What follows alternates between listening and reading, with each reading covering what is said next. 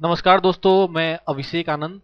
इस वीडियो के माध्यम से मैं आपसे एक सवाल पूछना चाहता हूँ। हमारे जो दिल्ली के जो चीफ मिनिस्टर हैं, केजरीवाल जी, उनके कामकाज, उनके डेवलपमेंट वर्क से आप कितना सेटिस्फाइड हो? क्योंकि दिल्ली में उनका जो सरकार बना मतलब इतना फास्ट मतलब कभी मैंने देखा नहीं था कि इतना जल्दी किसी का मतलब कि तुरंत पार्टी बन, आप पार्टी तुरंत बना।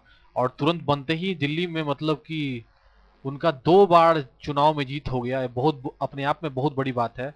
तो मेरा सिंपल यही क्वेश्चन है कि दिल्ली में जो आपका सरकार बना है चीफ मिनिस्टर जो हैं केजरीवाल जी उनके जो डेवलपमेंट वर्क से है आप कितना वीडियो के कमेंट सेक्शन में आप जो है प्लीज़ अपना कीमती कमेंट दीजिए और बताइए कि उनके वर्क से उनके प्रोग्रेसिव वर्क से आप कितना सेटिस्फाइड हो। ठीक है दोस्तों? बहुत बहुत धन्यवाद।